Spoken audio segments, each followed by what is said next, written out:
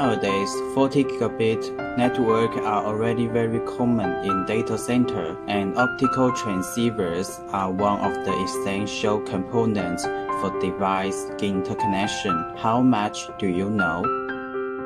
40 gigabit QSFP plus ZR4 optical transceivers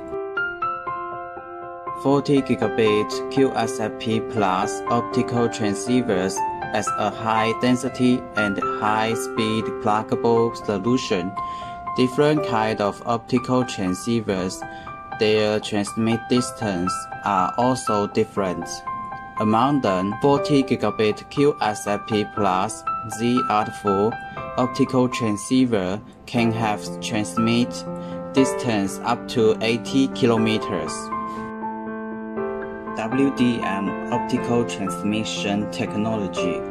40 gigabit QSFP plus ZR4 optical transceivers adopts WDM wavelength division multiplexing optical transmission technology and use multiplexer or demultiplexer to combine multiple optical signals with different wavelengths into one optical fiber for transmission.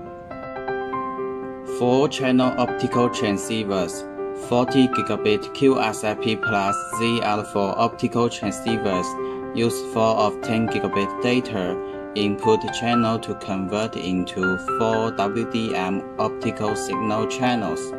Every channels can have as high as 11.2 Gbps of data transmission rate. Single mode fiber 40 gigabit QSFP plus ZR4 transmits through duplex LC connector of single mode optical fiber, which is suitable for long distance and high capacity optical fiber communication system, optical fiber local area network, and various optical fiber sensors.